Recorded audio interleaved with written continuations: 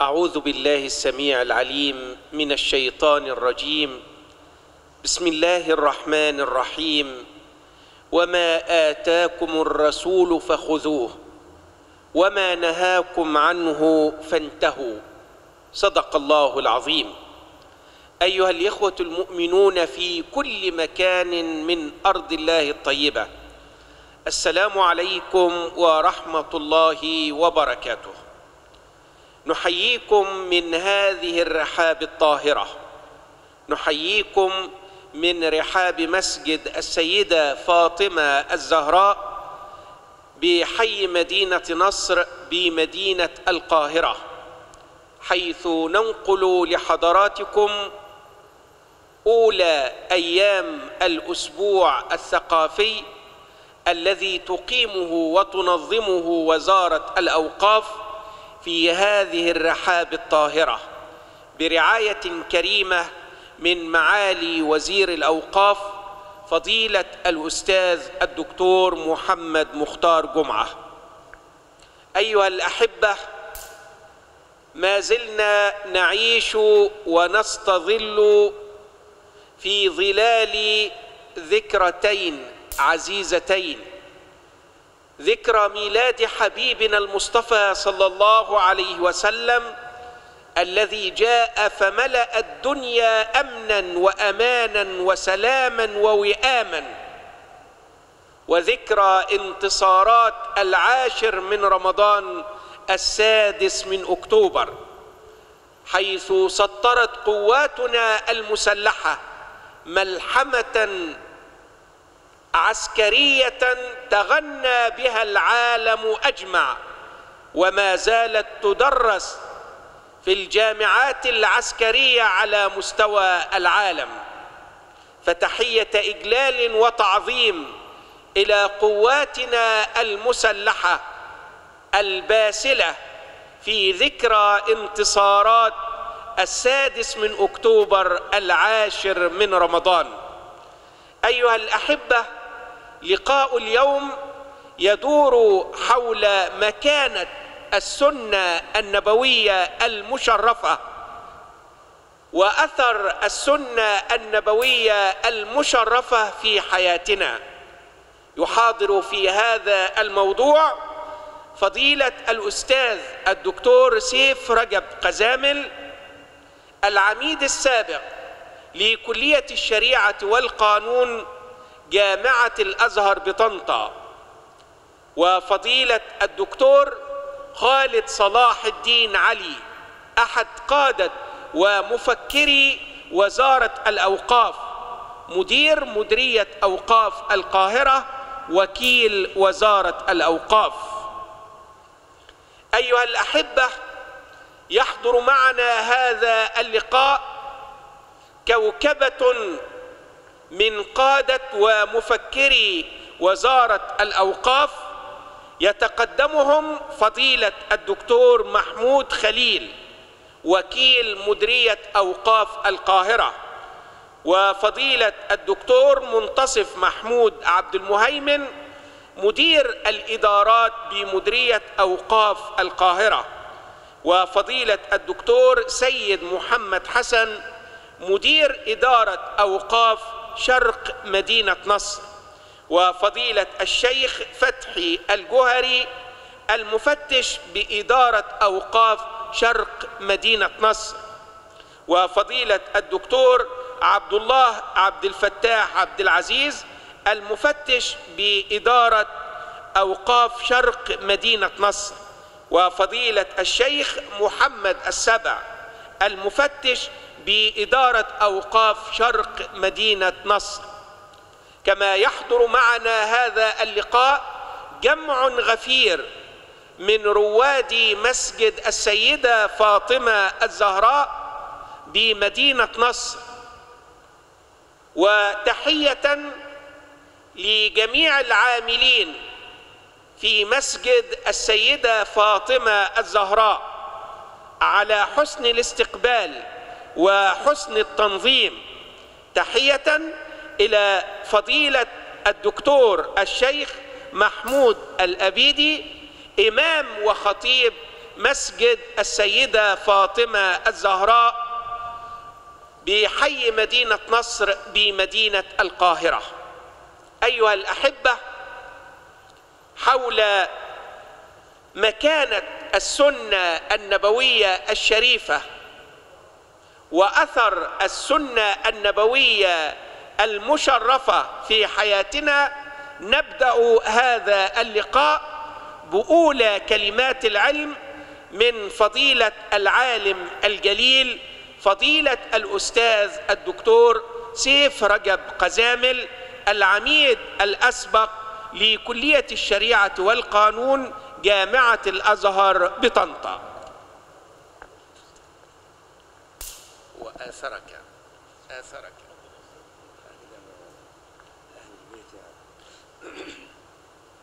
بسم الله الرحمن الرحيم. الحمد لله رب العالمين. نحمده ونستعينه ونستهديه ونتوب إليه ونستغفره ونعوذ بالله تعالى من شرور أنفسنا وسيئات أعمالنا. ونصلي ونسلم على خاتم رسول الله رسول الله سيدنا محمد وعلى آله وأصحابه أجمعين.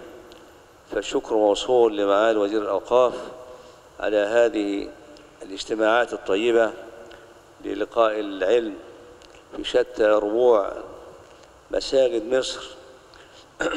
وشكرا لهذه الإدارة الطيبة وشكرا لمعالي الدكتور أحمد على هذه التقدمة والحضور للإذاعة والحاضرين جميعا. لا شك أننا في إطار السنة الشريفة نعلم أن رسول الله صلى الله عليه وسلم هو خير رسل الله تعالى وأن القرآن الكريم هو المنهج الخاتم الذي أنزله الله تعالى على رسولنا صلى الله عليه وسلم. وهذا المنهج الخاتم للرسالات السماوية المناهج السماوية السابقة يعني كيف نفسر الإجمال الذي ورد في القرآن الكريم. كيف نفسر الألفاظ المطلقة التي وردت في القرآن الكريم؟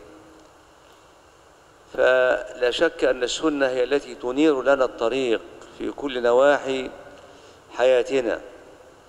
إطلال على العبادات كيف نصلي؟ يبقى لابد أن نرجع إلى السنة الشريفة.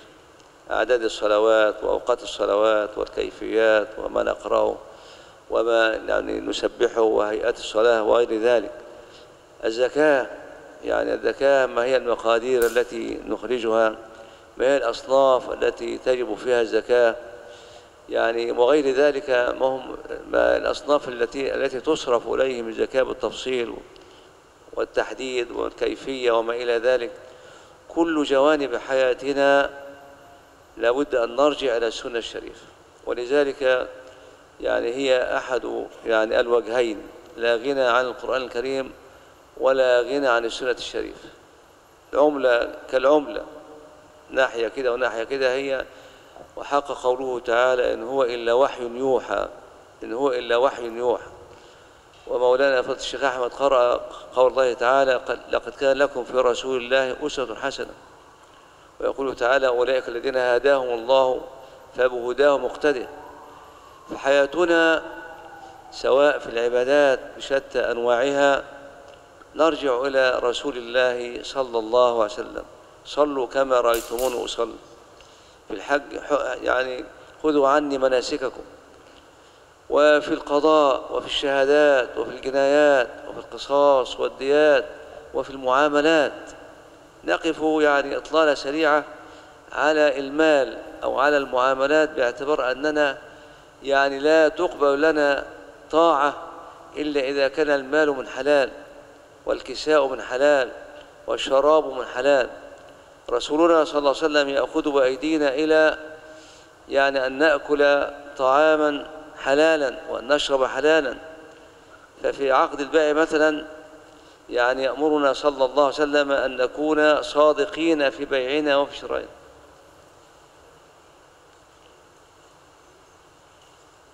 يبين لنا المصطفى سيدنا المصطفى صلى الله عليه وسلم يعني البيعان يقول البيعان بالخيار ما لم يتفرقا فإن صدق وبينا بورك لهما في بيعهما وإن كذب وكتم محقت بركة بيعه. شوف يأخذ بأيدينا سيدنا الرسول إلى الصدق في المعاملة إلى الصدق في التجارة. القرآن الكريم يقول يا أيها الذين آمنوا لا تأكلوا أموالكم بينكم بالباطل إلا أن تكون تجارة عن تراد منكم. التجاره معناها إيه؟ معناها البيع والشراء بالتكرار بقصد الربح. حينما اشتري سياره لاستخدامي خلاص دي الاستخدام. إنما أنا عندي معرض سيارات بشتري سيارة وأبيعها بشتري سيارات وأبيعها عندي توكيل عندي معرض. يبقى إيه؟ تجاره بقى خلي بالك لابد يكون صادق. يبقى عشان خاطر التجارة دي يبقى فيها صدق. سيدنا الرسول بارك العمل التجاري في مال السيدة خديجة رضي الله تعالى عنها. باشر هذه المهنة الطيبة. وبين لنا كيف كان لا يماري ولا يعني يجادل. فبين يبقى الصدق ده واشتهر بالصديق ل- لأجل هذا وغيره. فإذا فإن صدق وبين بورك لهما في عيب يعني معناها لا أخفي عيبا. وسيدنا الرسول بالواقع. يعني سيدنا حبان بن منقذ الأنصاري رضي الله تعالى عنه كان رجلا كبيرا وكان يغبن في البيعات يغبن يبيع بسعر يعني رخيص ويرجع مبسوط خالص ويشتري بسعر عالي ويرجع مبسوط خالص. أولاده يعني طلبوا من سيدنا الرسول أن يحجر عليه يمنعه من التصرف لأن يعني بيبيع بخسارة وبيشتري بزيادة يعني ده غبن. يبقى يغبن معناه أنه هو يعني السعر الجاري مش هو اللي في الشراء والبيع.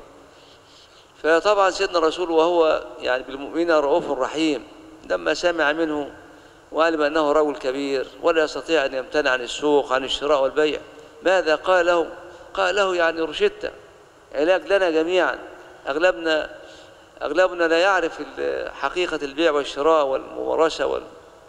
تخفى عليه أمور كثيرة. فقال قال له إذا بايعت فقل لا خلابة. ولك الخيار ثلاثا. سبحان الله. أوتي صلى الله عليه وسلم جوامع الكلم. إذا بايعت يعني بعت أو اشتريت فقل لا خلابة يعني لا خديعة. قول للراجل اللي بتبيع تعامل معاه ده أهو قول له أدينا النصيحة أدينا النصيحة. لا خديعة البيع والشراء إحنا إحنا مع بعض تعامل. قول لي عيوب السيارة إيه؟ قول لي محاسن السيارة إيه؟ قول لي العملة دي يعني هذه السلعة مقلدة ولا أصلية؟ فقل لا خلابة لا خديعة. وحط علاج تاني يعني عشان يضبط العملية. ولي الخيار الثلاثة. لي الخيار إيه؟ يعني إيه؟ البيع مش ب... ليس باتا. أنا هراجع نفسي هراجع أولادي هراجع أهل الاختصاص. أشوف يعني ال- السيارة دي تستحق السعر ده ولا لأ؟ أشوف يعني هي غالية ولا مش غالية؟ محاسنها صح ولا صح؟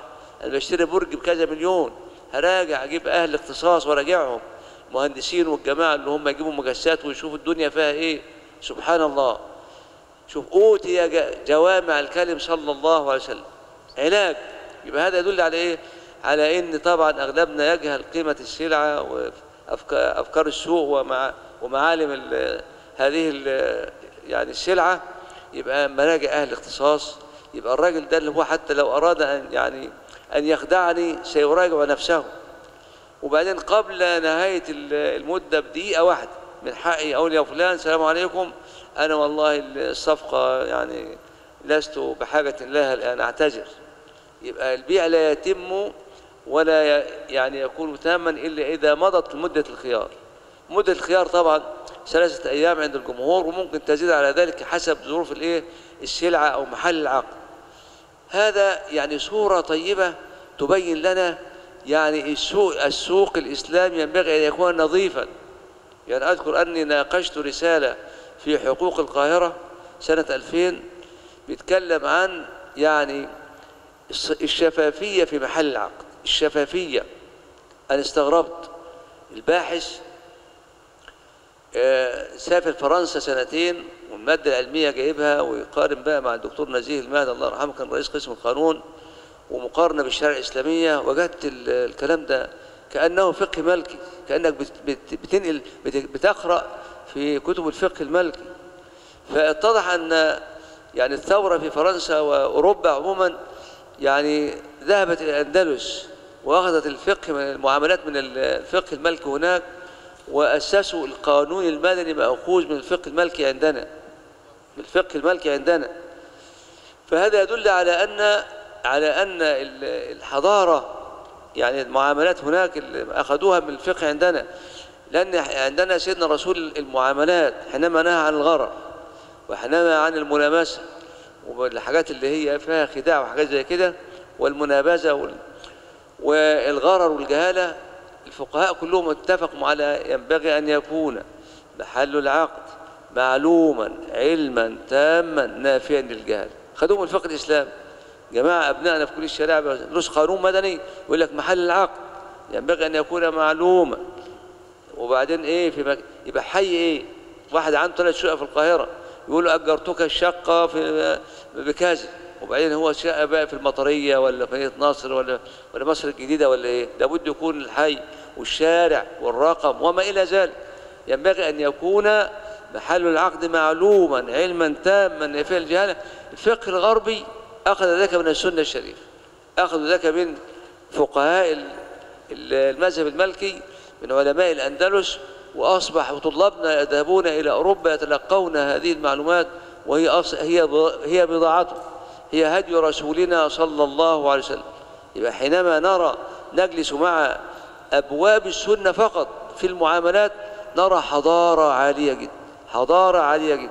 حينما تجد سيدنا الرسول كان موجود عندهم يعني جماعة من مناطق بعيدة عن المدينة ويأتوا لهم بالزيت والأقط وبعض الشعير مثلا أو القمح أو ما إلى ذلك. وفي جهالة في المدة وفي جهالة في الزمن وفي جهالة سيدنا يقول من أسلم فليسلم في كيل معلوم ووزن معلوم إلى أجل معلوم. يعني معيار السلم أو هذه المعاملة الوحيدة تحل مشاكل الأمة الإسلامية.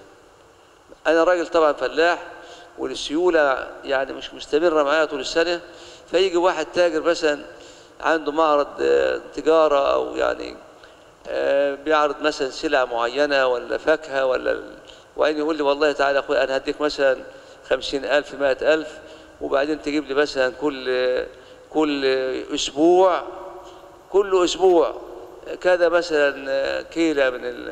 كيلو مثلا سمنة أو دقيق أو أو يعني فاكهة معينة أو حب معين سبحان الله يبقى كان راجل فلاح عنده سيولة مستمرة طول العام والراجل اتفق معايا مثلا على أساس ال- الكيلو مثلا ب 50 أو 40 أو كده وهو يبيعه صاحب 60 أو أكتر لأن هو طبعا موز له الحاجة دي لها له- لها موسم عنده.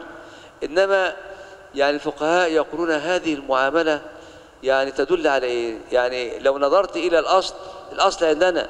أنت بتقول لي أن يكون محل عقد معلوما علما تاما نافيا للجهال طب الآن أنت بتتعاقد في شيء مجهول مش معلوم دلوقتي. ده أنت بتقول أسل هتديني من في شهر ستة أو في شهر ثمانية السنة الجاي. يعني كل أسبوع كذا أو كل يوم تجيب لي تورد لي كذا وما أعرفش إيه. وبعدين ما حددتش مكان لا غيط ولا حقل ولا مكان ولا سبحان الله إعجاز تشريعي. حينما تنظر إلى هذه المعاملة ترى أن الذمة هي محل التعاقد وأن الذمة حاضرة وأن هذا ارتقاء بالمسلم في المعاملات.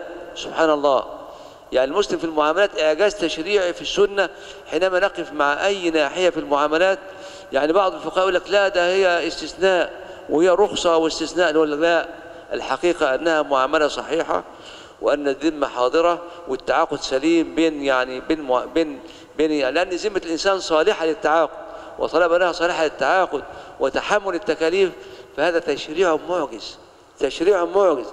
فهذا يعني حينما نقف مع السنة الشريفة يعني البيعان شوف الشركاء يعني الشركاء يعني ما لهم شركاء. يعني أنا ثالث حديث القدس أنا ثالث شريكين ما لم يكن أحدهما صاحبه يعني فإذا خان أحدهما صاحبه إيه؟ خرجت من بينهما. يبقى هذا يدل على أن الشركات بأنواعها المتعددة تفتح بابا واسعا لتعمير الأرض. أنا جهدي كراجل فرد يعني مهما كان عندي من قدرة يعني برضه جهدي ضعيف. إنما حينما أخلط المال بتاعي مع مال آخر. وبعدين نبتغي وجه الله ونعمر الأرض ونحل مشاكل الأمة الإسلامية في الوطن في القرية في البلد في في الموطن وبعدين بقى في معالم الحضارة ويعني يبقى الصدق. الصدق في المعاملة يبقى معلم من معالم الشريعة في كل نواحي, نواحي الحياة. فهذا يدل على أن السنة يعني جوانب السنة في أي ناحية من نواحي حياتنا لا غنى عنها. وأنها البركة. ولابد أن يحيا نحيا مع رسولنا صلى الله عليه وسلم في كل حياتنا في أهل مع مع الزوجة مع الأولاد مع الجيران مع الأبناء مع طلاب العلم مع كل من نتعامل معه مع المسلم ومع غير المسلم. هذا والله التوفيق لأن أرى يعني الإيه الوقت لا يتسع لأكثر من هذا. وأشكركم والسلام عليكم ورحمة الله وبركاته.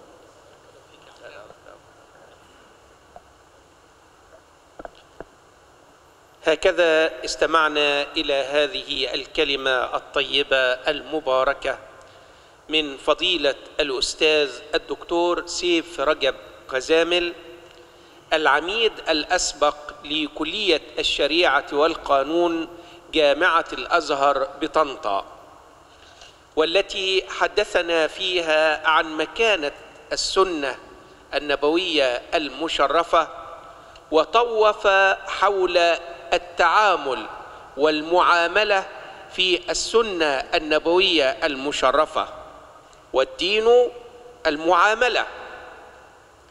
ونحن اليوم نتحدث عن مكانة السنة النبوية المشرفة وأثر السنة النبوية المشرفة في حياتنا.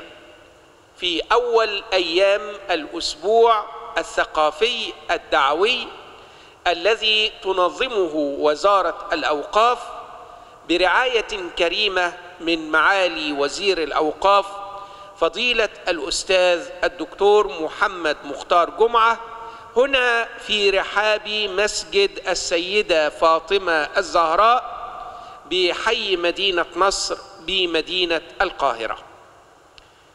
أيها الأحبة ونحن نحيا ونستظل بظلال شهر ربيع الأول شهر مولد الهادي البشير شهر مولد الحبيب المصطفى صلى الله عليه وسلم.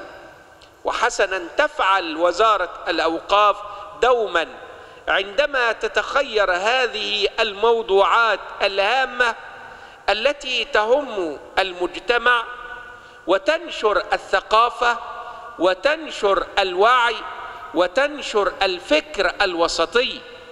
ولا شك أن كل ذلك يأخذ بأيدي المجتمع نحو التقدم نحو الازدهار نحو السلام نحو الوئام نحو التماسك نحو الاصطفاف. أيها الأحبة مع فضيلة العالم الجليل فضيلة الدكتور خالد صلاح الدين علي أحد قادة ومفكري وزارة الأوقاف مدير مديرية أوقاف القاهرة وكيل وزارة الأوقاف. يحدثنا أيضا عن مكانة السنة النبوية المشرفة وأثر السنة النبوية المشرفة في حياتنا. فليتفضل. بسم الله الرحمن الرحيم. الحمد لله رب العالمين. وأصلي وأسلم على سيدنا رسول الله صلى الله عليه وسلم الذي أرسله ربه رحمة للعالمين. قال الله تعالى هو الذي أرسل رسوله بالهدى ودين الحق ليظهره على الدين كله ولو كره المشركون. وأشهد أن لا إله إلا الله وحده لا شريك له وأشهد أن محمدا عبده ورسوله. بلغ الرسالة وأدى الأمانة ونصح للأمة وكشف الله به الغمة ومحى الله به الظلمة وتركنا على المحجة البيضاء ليلها كنهارها لا يزيغ عنها إلا هالك. وبعد فلا زلنا نحيا في رحاب هذا الشهر الطيب الكريم شهر ميلاد سيد البرية سيدنا رسول الله صلى الله عليه وسلم. وكما قال القائل وافى ربيع فمرحبا بهلاله قد أقبل الإسعاد في إقباله. شهر به سعد الزمان فحقه أن يزدهي شرفا على أمثاله. لما بدا في الأفق نور نور محمد كالبدر في الإشراق عند كماله نشر السلام على البرية كلها وأعاد فيها الأمن بعد زواله واخضر وجه الأرض ليلة وضعه وانهل كل الغيث باستهلاله صلى عليه الله جل جلاله وحباه سابغ فضله ونواله. كل الشكر والتقدير لراعي هذا الحراك العلمي في ربوع جمهورية مصر العربية معالي الأستاذ الدكتور محمد مختار جمعة وزير الأوقاف. كما لا يفوتني أن أشكر المنصة الكريمة سعادة الأستاذ الدكتور سيف رجب قزامل العميد الأسبق لكلية الشريعة والقانون جامعة الأزهر فرع طنطا. كما أتقدم بخالص الشكر للصديق العزيز كبير المذيعين بإذاعة القرآن الكريم سعادة الدكتور أحمد القاضي. كما لا يفوتني أن أتقدم بخالص الشكر لحضراتكم على هذا الحضور وأشكر أخي الدكتور محمود الإبيدي على كرم الضيافة وحفاوة الاستقبال. السنة هي المصدر الثاني للتشريع الإسلامي. أرسل الله عز وجل الأنبياء لغاية لهداية الناس وإخراجهم من ظلمات الشرك والكفر والظلم والجور إلى نور الهداية والإيمان. وختمهم بسيدنا رسول الله صلى الله عليه وسلم الذي قال عنه كما أسلفت في بداية الكلمة هو الذي أرسل رسوله بالهدى ودين الحق ليظهره على الدين كله ولو كره المشركون. اذا هي المصدر الثاني للتشريع الإسلامي. وحينما نقول سنة فالسنة عند المحدثين تعني كل ما أوثر أو كل ما ورد عن النبي صلى الله عليه وسلم من قول أو فعل أو تقرير أو سيرة أو صفة خلقية أو خلقية سواء قبل البعثة أو بعد البعثة. وعند الفقهاء المراد بالسنة هي المندوب أو المستحب أو ما هو دون الواجب أو الفرض عند جمهور الفقهاء. إذا كل ما ورد عن النبي صلى الله عليه وسلم سنة نعم رغم أنف كل حاقد وناقم. ليه؟ سيدنا عبد الله بن عمر رضي الله عنه وعن أبيه قال كنت أكتب كل شيء أسمعه من رسول الله صلى الله عليه وسلم بهدف أن يحفظه. فنهتني قريش عن ذلك وقالوا كيف بك تكتب كل ما ينطق به النبي صلى الله عليه وسلم؟ النبي صلى الله عليه وسلم. وأحيانا يتكلم بغضب أو زعل أو شيء من هذا القبيل. قال فذكرت ذلك لرسول الله صلى الله عليه وسلم فأشار بيده إلى فيه إلى فمه الشريفة وقال اكتب فوالذي نفسي بيده لا يخرج منه أي من فيه إلا كل حق. اذا كلامه صلى الله عليه وسلم سنة أفعاله سنة تقريراته سنة. يبقى كل كلام سيدنا النبي صلى الله عليه وسلم كلام حق ولما لا. والله عز وجل قال والنجم إذا هوى ما ضل صاحبكم وما غوى وما ينطق عن الهوى. إن هو إلا وحي يوحى. علمه شديد القوة. يبقى الكلام كلام مين؟ كلام ربنا سبحانه وتعالى. وكلام سيدنا النبي وحي من مين؟ من ربنا سبحانه وتعالى. يبقى ما يطلعش واحد يقول لك القرآن فيه الغنية عن السنة. ونقول جميعا الحمد لله الذي عافانا مما ابتلى به غيرنا وفضلنا على كثير ممن خلق تفضيلا يقول لك كل حاجة في القرآن. طب وبعدين تيجي تقول له طب مين اللي قال صلاة الظهر عندما تكون الشمس في كبد السماء وهي بعد ما تزول يعني عن المنتصف وهي أربع ركعات. يقول لك لا أنا مش معترف بكده. ده القرآن قال إن الصلاة قبل طلوع الشمس وقبل غروبها. طب بتحج ومعترف بالحج ولا مش معترف بالحج؟ يقول لك آه.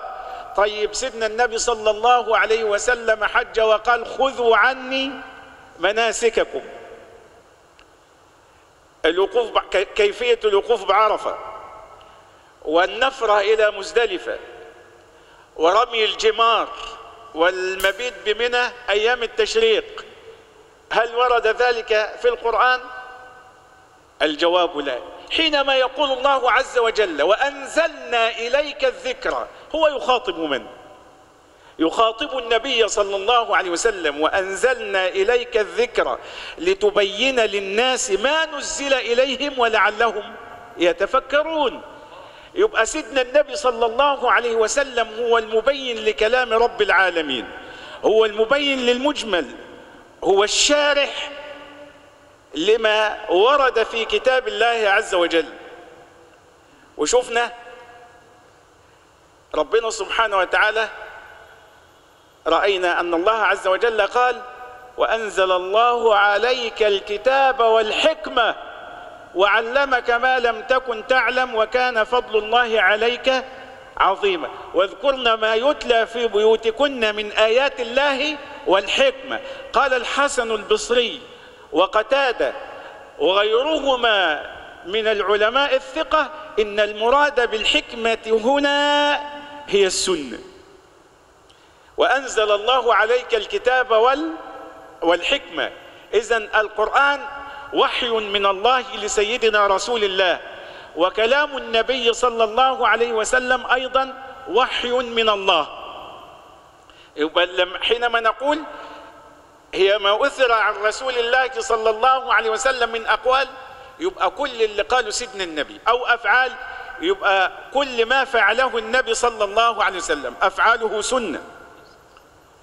وتقريرات كما فعل سيدنا معاذ حينما دخل والنبي صلى الله عليه وسلم في الصلاة وقد فاتته ركعة أو أكثر فقال والله ما رأيت رسول الله صلى الله عليه وسلم على حال إلا واتبعته. فدخل مع سيدنا النبي في الصلاة وما عملش زي الناس اللي كانت بتعمل يسأل أي واحد في الصف صلوا كام يقول له واحدة يجيب ركعة اثنين يجيب ركعتين لا هو دخل في الصلاة على طول. فلما انتهى وعلم النبي صلى الله عليه وسلم بذلك أقر سيدنا معاذ على إيه؟ على فعله وأجمع الفقهاء على مر العصور والأزمان في كل عصر ومصر على حجية السنة ما من عصر من العصور إلا وأجمع علماؤه على حجية السنة وعلى أنها هي المصدر الثاني للتشريع الإسلامي. من قال من الذي بين زكاة الذهب؟ زي ما قال أستاذنا الدكتور سيف. نعرف إزاي نطلع زكاة الذهب أو زكاة الإبل أو زكاة الغنم أو زكاة البقر أو زكاة ما تنبته الأرض. يعني حتى ما تنبته الأرض اختلف الفقهاء هل هل في في كل ما تنبته الأرض زكاة أم لا. وعندنا السادة الأحناف قالوا كل ما تخرجه الأرض ويباع ويشترى فيه الزكاة واستدلوا بقوله تعالى يا أيها الذين آمنوا كلوا من طيبات ما كسبتم ومما أخرجنا لكم من الأرض. أنا يعني دخلت يعني على الدكتور سيف كده الفقيه بتاعنا وما كان لي أن أدخل في هذا المجال. لكن من الذي بين لنا ذلك؟ رسولنا صلى الله عليه وسلم. بل إن السنة أحيانا قيدت المطلق. كما ورد في الحديث حديث الرجل الذي أراد أن يوصي قال يا رسول الله أوصي بمالي بمالي كله؟ قال لا. قال فبشطره بنصفه؟ قال لا. قال فبثلثه؟ قال نعم. والثلث إيه؟ كثير. يعني لو ظللنا نتحدث عن يعني مكانة السنة وحجية السنة آه، آه، يعني سنتحدث ساعات وساعات وسيتحدث غير ساعات وساعات. كفى بالسنة أن من طبقها طاعة لرسول الله فقد أطاع الله. طيب ومن ومن أنكرها والعياذ بالله وجحدها؟ قال الله تعالى من يطع الرسول فقد أطاع الله. وقال وما آتاكم الرسول فخذوه وما نهاكم عنه فانتهوا. من يطع الرسول فقد أطاع الله. قل إن كنتم انت بتحب بتحب ربنا؟ قل إن كنتم تحبون الله فاتبعوني. ها؟ اذا علق الله عز وجل كمال محبته على محبة سيدنا رسول الله وتطبيق ما جاء به وما نطق به. قل إن كنتم تحبون الله فاتبعوني. يحببكم الله ويغفر لكم ذنوبكم والله ها؟ غفور رحيم. ولن تشمل الرحمة إنسانا جحد سنة سيدنا رسول الله. قال الله تعالى وأطيعوا الله والرسول لعلكم لعلكم ترحمون. فكل ما قاله صلى الله عليه وسلم حق وعلى العين وعلى الرأس قولا أو فعلا أو تقريرا أسأل الله عز وجل في هذا الشهر الكريم ومن رحاب بيته الكريم أن يجعل جمعنا هذا جمعا مرحوما وأن يجعل تفرقنا من بعده معصوما وأن لا يجعل فينا ولا مننا ولا بيننا ولا حولنا ولا في مصرنا شقيا ولا محروما. كما أسأله تعالى أن يوفقنا لما يحب ويرضى وأن يأخذ بأيدينا جميعا إلى البر والتقوى. إنه نعم المولى ونعم النصير. أشكركم على حسن استماعكم وإنصاتكم. ونلتقي دائما على الخير وفي الخير. دمتم في أمان الله. هذه هي مصر. وهؤلاء هم علماؤها. حفظ الله بلادنا الحبيب مصر بحفظه. وأمنها بأمنه. ونصرها بنصره ورزقها برزقه وأنزل عليها الأمن والأمان والسلام والرخاء وعلى سائر بلاد العالمين. نعم على سائر بلاد العالمين. فرسالة حبيبنا المصطفى صلى الله عليه وسلم هي رسالة عالمية. وما أرسلناك إلا رحمة للعالمين. هكذا استمعنا إلى هذه الكلمة الطيبة المباركة من فضيلة العالم الجليل أحد قادة ومفكري وزارة الأوقاف فضيلة الدكتور خالد صلاح الدين علي مدير مديرية أوقاف القاهرة وكيل وزارة الأوقاف والتي حدثنا فيها عن مكانة ومنزلة السنة النبوية المشرفة وما لها من أثر في حياتنا. وإن كان فضيلة العالم الجليل فضيلة الدكتور سيف رجب قزامل قد اختصر حديثه في التعامل والمعاملة حيث إنه أستاذ الفقه المقارن بجامعة الأزهر الشريف. فقد طوف فضيلة العالم الجليل فضيلة الدكتور خالد صلاح الدين حول مكانة ومنزلة السنة النبوية من الناحية الدعوية ومن الناحية الحياتية والعلمية وبين أثر السنة النبوية في حياتنا. روحي بروحك في الضياء تهيم. يا سيدي يا حبيبي يا رسول الله. روحي بروحك في الضياء تهيم. والقلب مني في هواك والشوق مني في هواك عظيم.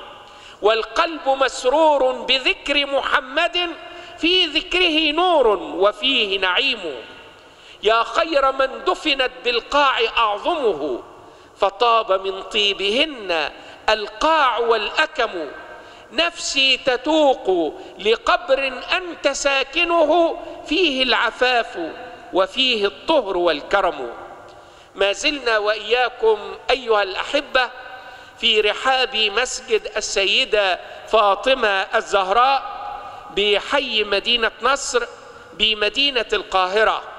ننقل لحضراتكم هذا اللقاء الثقافي الدعوي في أول أيام الأسبوع الثقافي الذي تنظمه وزارة الأوقاف في هذه الرحاب الطاهرة برعاية كريمة من معالي وزير الأوقاف فضيلة الأستاذ الدكتور محمد مختار جمعة.